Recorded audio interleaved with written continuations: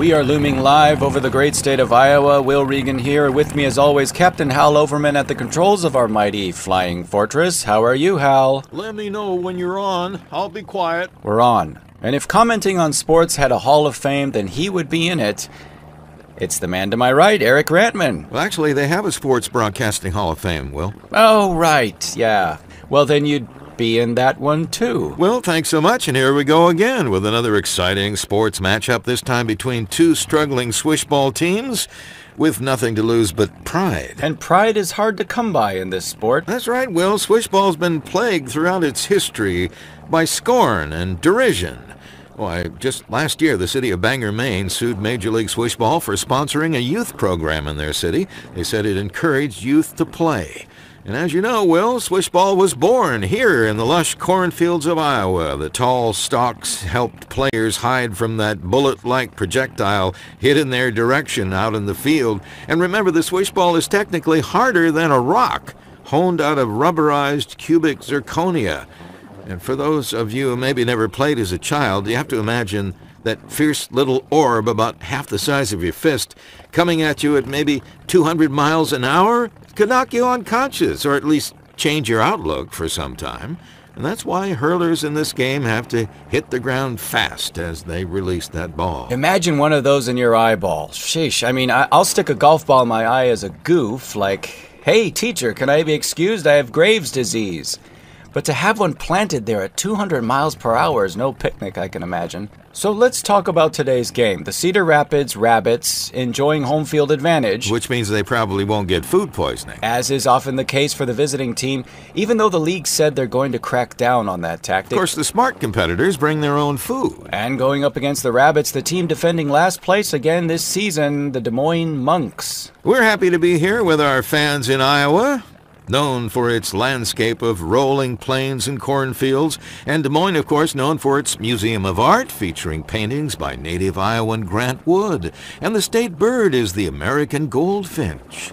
Oh, I wondered what that was on your shoulder. One flew by the blimp just before we went on the air. Uh, we had the window open, unfortunately. Well, you really do your homework for these broadcasts. The goldfinch, no kidding. Iowa is steeped in history. And corn. Iowa, it's where corn was born, to borrow a phrase from the Corn Growers Union. And it doesn't hurt to schmooze the Chamber of Commerce. They were kind enough to send up this very nice fruit basket. Embellished with some handsome Iowa corn stalks. Our pregame wrap is brought to you by one of our most loyal sponsors who stayed on us after the crash of 2008. Well, we did crash right in their store in Davenport, of all things. That's right, Davenport's R Us should be your first choice for sofas. And be sure to stop in and see their complete line of nappers. These beauties are designed to give sports fans the perfect snooze before, after, or during the game. The nappers feature the all new padded rail to prevent annoying roll offs, and their exclusive memory foam not only remembers the contour of your body, the armrest speaker will tell what the score was when you dozed off. And these super sofas from Davenport's R Us in Davenport come in team colors, which your wife will appreciate. Got out of town guests coming for the weekend? See their extensive line of hide beds. But these hide beds are special. They hide your guests too. They look like a sofa during the day and at night. Your guests are comfortably folded right inside, just as snug as a bug for an amazing night's sleep. And if you order your Hide a Guest this weekend, they'll throw in matching pillows and pajamas. Do they have those little footy jammies? Yes, just for you and very large toddlers. So drop by Davenport's R Us in Davenport with one convenient location right across from bumper car parking. We're getting near game time, and to help with our coverage from the Sports Blimp is our man on the ground, ear, eye, and nose throat specialist, Dr. Leonard Hackney. Yes, I'm here when needed. Dr. Hackney will be covering the injuries as well. Today's first hurl will be tossed out by legendary accordionist, accordionist Myron, Myron Flournoy.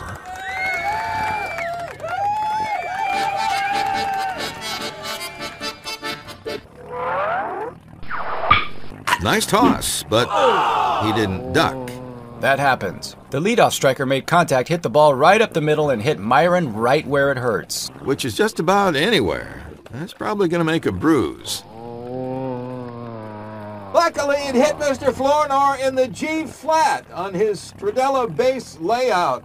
Is that serious? Well, it is for the accordion. By the way, Myron is scheduled to star in a post game concert with Big Tiny Little from the Lawrence Welk Orchestra. Well, that's kind of in doubt now, I think. Well, we'll have to see what the x rays show. It's the Cedar Rapids Rabbits meeting up with the Des Moines Monks. The Monks wearing the throwback uniforms today, the long dark robes with the hoods dating back to the 10th century. There's some pictures of those early teams in the ballpark museum downstairs. Abner Rack is the starting hurler. You might want to see those next time you're here. In the backstop position today, catching is Archie Gonzer, and he's back from the disabled list. He put himself on the DL last week after that humiliating loss to the Phoenix Fairies, the first all girls swishball team in the league. Players get 10 days disabled each season. Bert Alamande is playing first hole today. Candy Bootover playing Rambler. She just came over from the Fairies, traded for a groundskeeper. And we have Riker Furrow out in left playing LG. The left grazer position is pretty demanding for a man his size, having to cover a couple of acres of tall grass chasing down those flies. The flies are not too bad this year, though. Well, thanks to that first hurl thrown out there by our celebrity musician, Willis Chalmers is in the first hole. You can see the top of his cap. Willis has a great move to that hole, kind of runs and plops, I guess you'd have to say. Let's check in with our man on the ground now, Dr. Hackney. Eric, this time uh, Willis jumped in head first into the bunker or the hole. Uh, they always tell you not to do that. Good thing he has that steel plate in his head. Were you kind of thinking of getting one of those? From then on, I guess you don't have to worry about a thing. Then you're pretty much bulletproof. It's either that or tucking my droopy eyebrows. So let's look at the rabbit starting hurler. Abner has a great move to the ground. After that camouflage colored ball leaves his hand, he kicks out his legs out from under himself, and his face is flat on the ground in a second. That's critical in this game. The Brits don't call it pitch and duck for nothing. Backstop Archie Gonzer sends him the signals. Right here. Gonzer really just calls them out loud. There's the hurl. Swatter Ernesto Blunt takes a swing and misses. And misses. And misses. Screws his shoes into the ground. Umpire Rita Bunker helps him up as he untangles his legs. That hurl clocked at 211. Backstop Gonzer, refocusing his eyes, shaking off the pain. He sends Abner Rack the signs. Time! And the umpire calls a timeout. Guess that means a potty break again. But before the game, she told me that she was on a new diet and was trying to drink more water. Well, let's take a break to get in a word for one of our loyal sponsors, Granny's Crab Apples. Crab apples are a tough little fruit, so it takes a tough little lady to pick them. That's right, it's crab apple season, so come and get your fix of those tart and tangy little crab apples, picked by our favorite little granny. Little Granny's crab apples have been picked for almost a century by Little Granny herself. Can't do this much longer. Every tangy crab apple was picked the old fashioned way by a little old lady on a ladder with a bucket. There are so many. Now you can order one crate and get the second crate free. Give a crate of crab apples to a friend, or whip up a batch of crab apple jam or crab apple butter. Stick a bunch of crab apples together with toothpicks and make a crab apple crab to scare the kids on Halloween. Little Granny's crab apples are organically grown and harvested with love. Nature grows them. I pick them. And thanks to Granny for tossing up a few crab apples into the sports blimp. Here comes another one. They're, they're kind of tart. And they're tangy. Look for them in the higher priced organic section of your favorite store or on the side of the freeway. No, those are, aren't those road apples? The umpire is back in position and we're ready to resume action now. Too bad the restrooms are all the way out in the bleacher section. So, Willis Chalmers is at the first hole. Swatter Ernesto Blunt has the stick in his hand, waiting for the hurl from Abner Rack. The windup and the hurl. Wow! That was a blazer. And Blunt gets a piece of it and sends the ball high out into the field where the left grazer Riker Furrow is waiting under for the catch. But. No, he lost it in the sun and the ball hits him in the head. Those camouflage balls are pretty hard to see. Ouch. Runner Willis Chalmers climbed out of the first hole and is making his way to the second as medics make their way to the outfield. The ball bounced off Furrow's forehead and into the stands for a bounce rule double. Wait, the fan chose to put the ball back into play.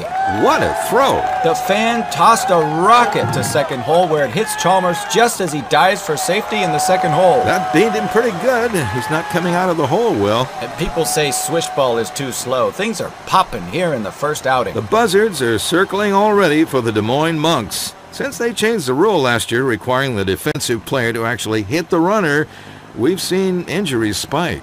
Well, Time. Umpire Rita Bunker has called timeout again. Another potty break? This time it's to allow the emergency helicopter to land on the field and tend to the wounded. So, to recap the game so far, the Cedar Rapids Rabbits have their left grazer mortally injured in the field, and the Monks have their first runner in the second hole, while starting hurdler Abner Rack is still flat on his face, having hurled and dropped to the ground. He's got both hands covering his head, waiting for the all clear. There it is. This game originated in Great Britain, you know, where it was known as pitch and duck, and I have to wonder if the Brits would even recognize the game today. It was outlawed by Oliver Cromwell in 1657, so I don't think many Brits would know what we're talking about right now. And speaking of history and game appreciation kind of stuff, It's time for a Sports Blimp player profile.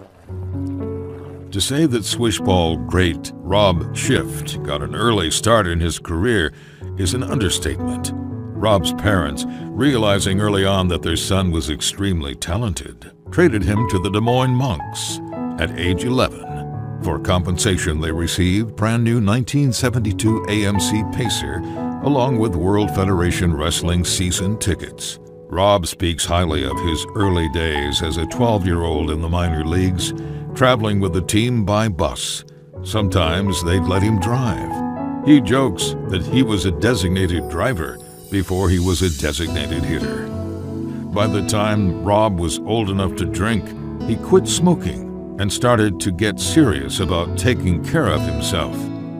During his illustrious career, Rob pioneered the role of the switch hitter in swishball. He'd switch from a bat to a golf club, the nemesis of many low ball hurlers and fans in the stands. Rob Swift, Hall of Fame fielder. His advice to up and coming players stay in driving school, get your license. Rob Swift, one of the most challenging interviews of my career. I didn't think he did interviews. He doesn't. I had to wait till he was asleep. Well, it seems that this game is plagued by interruptions. Umpire Rita Bunker has called timeout again to chase a gopher. She'll never catch it, and even if you do catch it, you're holding a gopher. Then what do you do? And isn't it supposed to rain about now? While the groundskeepers are covering the field and the fans with rain tarp, let's remind you that next time we'll be bringing you up to date with a week's worth of sports in a minute. And then we'll be flying the old sports blimp to cover the prelude to Wimbledon, the semifinal International Sheep Tennis Open. If we can get a sponsor to cover the fuel. Until then, this is Will Regan along with Eric Rantman wishing you more than a sporting chance. On the Sports Blimp, All Sports Network.